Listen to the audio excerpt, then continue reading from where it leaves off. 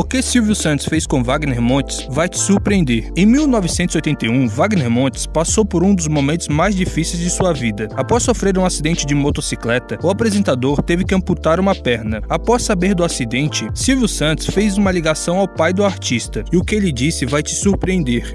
Na hora mais difícil da minha vida, que foi meu acidente, ele ligou, ligou, conseguiu falar com meu pai e disse: Meu pai, olha, eu não posso dar a ele uma perna de carne e osso, mas a mais moderna do mundo, onde tiver, ele vai usar. Quando as pessoas falam, Silvio Santos, como é que você define? Meu amor. Wagner Montes faleceu em janeiro de 2019, com 64 anos, após ser internado com uma infecção urinária. Em 2018, o apresentador também sofreu um infarto.